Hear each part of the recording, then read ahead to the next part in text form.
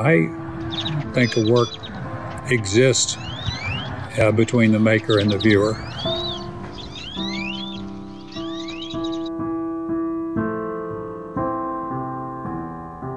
My name is Patrick Dougherty. I'm a sculptor. I have a good website, stickwork.net. We're here in Pease Park. Um, I've just finished my sculpture. I'm so happy to say we finished it today. We're going to call the piece Kippy If we wanted a kind of a cowboy salutation uh, for the piece because it's here in, in Texas. I've been working about oh, maybe 35 years since the early 80s. It's been my pleasure to have worked every day since then and worked on these kinds of large scale sapling sculptures. I've made a, maybe 285, 88, and uh, I've made them all over the world and all of the United States and do 10 works a year. They take three weeks each to build, so I've got about uh, two extra months in there, and that's what I do my site visits. I have to make a visit for each piece that I'm going to make in the upcoming year. Uh, the work seems to cast a spell over the public and all the kind of associated associative feelings that they have when they see the work.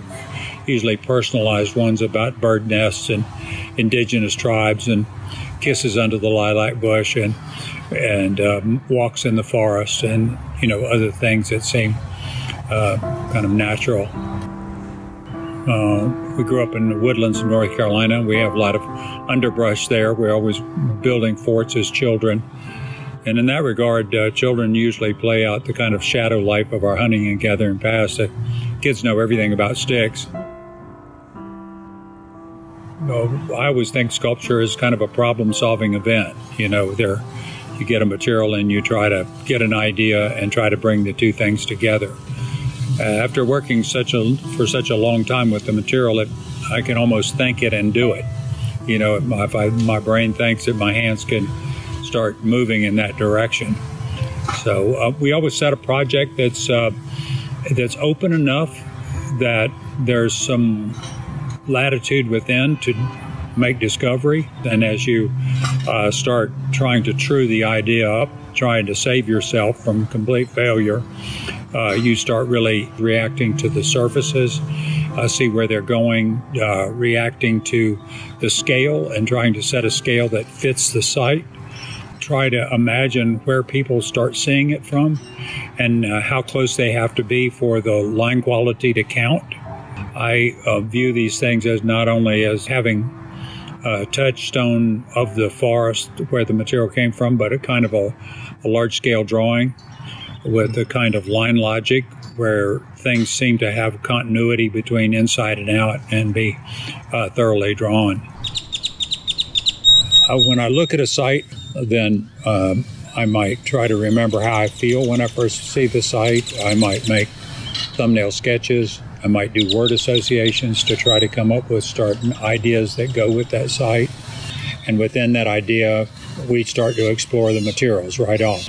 Uh, we start bending things this way and that, trying to figure out how much lean can go on something, what's more exciting than another, and then start reacting to the surface as we see it. And the piece here in the park, uh, you know, the idea was to make a series of corners uh, I was joking that I wanted to build a cathedral, but I just got to the corners of it.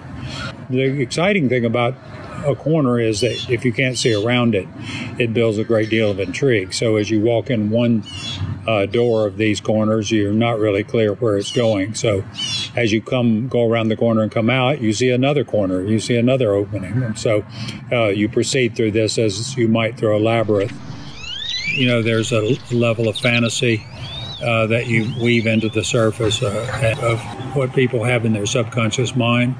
The imagery of uh, things that lay low, like uh, simple shelter, the Garden of Eden, uh, desire to go down a woodland path and just kind of disappear across the forest. Hmm. beliefs that you could kind of communicate with birds and talk to other animals. Those are kind of low level fantasies that everybody has. So um, I think these this work uh, kind of calls upon or stirs up some of that that feeling.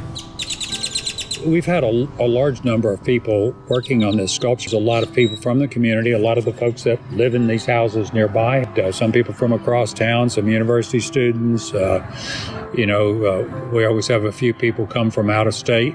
You know, because they see it on the internet and just put their name on the sign-up sheet and get over here to work.